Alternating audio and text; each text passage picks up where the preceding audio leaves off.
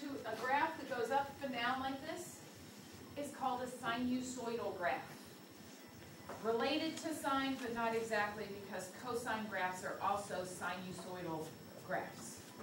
Because they do the same up and down thing, because guess what? They go through that same set of values, but as the x coordinates that the y coordinates went through to find our sine graph. So let's see what I have here. Now we want to find the cosine graph. So we're going to basically do the same thing we just did, except this time we're going to be looking at, as we go through the circle, the y coordinates. So this was our sine of x. I should probably label this. So now we're going to do the cosine of x.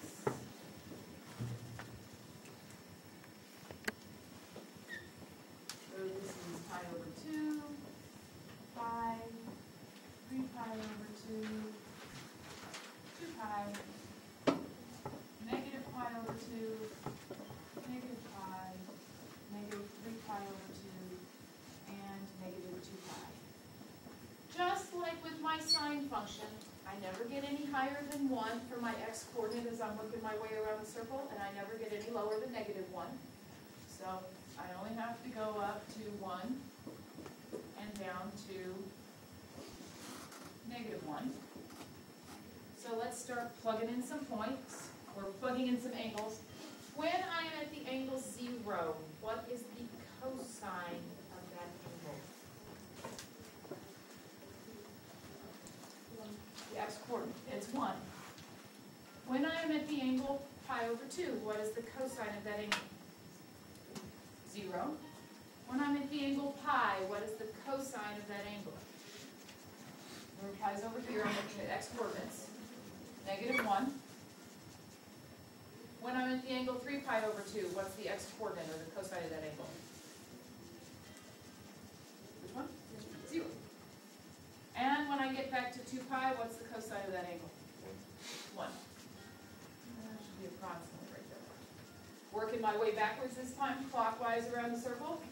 When I get to negative pi over 2, what's the cosine of negative pi over 2? 0. When I get to negative pi, what's the cosine?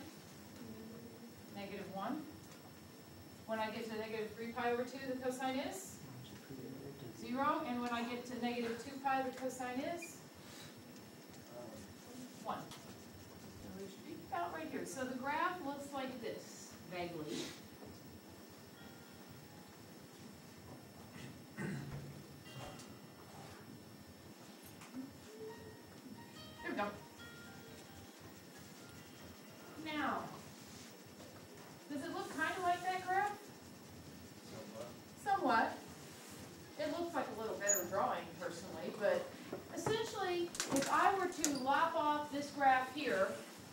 So starting right there and going to right here and moving it over, it would look just like this graph.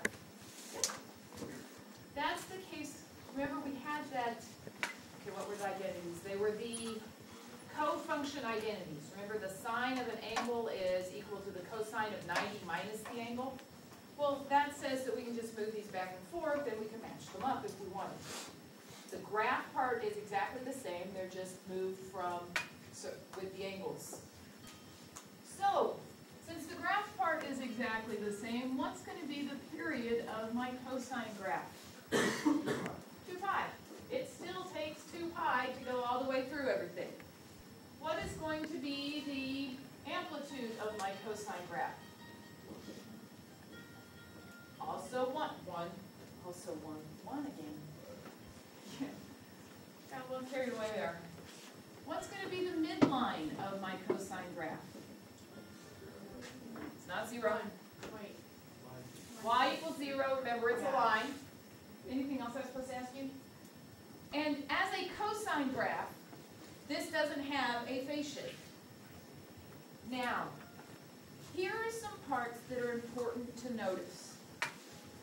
A basic sine graph is where at the y-axis? Where does it run through the y-axis? At zero. A basic cosine graph is where on the y-axis? At its, or another way to think of it is it's at its highest point. So when we get a graph, if we see that it goes through zero, zero, chances are it's most easily written as a sine graph. Or, you know, we can write the equation as a sine graph. If we see that it's at a high point on the y-axis, then it'll be more easily written as a cosine graph. Now, we've transformed functions, yes? We vertically stretched them and shrunk them. What would that change in these if I do vertical stretching or shrinking? What, which one of the words will change? The amplitude, it will either get bigger or smaller if I vertically stretch or shrink. Where do I put the number to vertically stretch or shrink? In the front. So it would be here. A number here. Let's write the general. So the basic A sine of bx plus c plus d is your basic possibly transformed sine graph. And the same set of letters, A, cosine of bx plus c plus d is your basic cosine graph. The A will stretch or shrink your graph. The A is going to be your amplitude, almost. So in these, the amplitude will be the absolute value of A. Why do we have to put the absolute value part? What kind of numbers can I plug in for A? All positive. I can do positive, is that the only thing I can do? Could I plug in like negative one? If I stick a negative one here, what would it do to my graph? It'll flip it over the x-axis, so it's possible to put a negative number in there. But we can't have a negative amplitude since amplitude is the distance from the midline to the highest point. And so that's why we do the absolute value part, to get the negative on. But we can't put a negative number in there. If we do that, it will take our graph and reflect it over the x-axis. Well, what will that do to this point right here on my sine graph? It won't move it, will it? So even if I have a graph that has a point at zero, zero, and instead of going up to the right, it goes down, all that indicates is that I've got, a- it's been flipped over. What does this, happens to this point when it gets reflected over the x-axis? It goes to negative one. So if I have a cosine, if I have a graph, and it's either at its high point or its low point, it's most easily a cosine graph. The high point is a nice positive one. The low point would indicate a negative number in front of my cosine function. And you're gonna, and you're all going, ah, don't worry, we'll get to one and you'll see it all nice.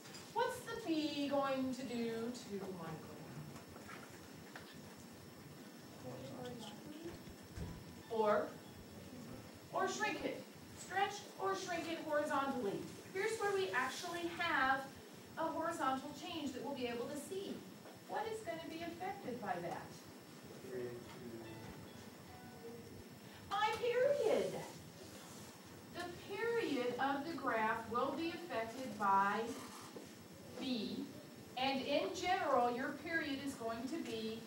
2 pi divided by b. In other words, the original period, which was 2 pi, divided by the number b. So if b is 1, we're all set. If b isn't 1, then we are either going to make smaller periods or wider periods.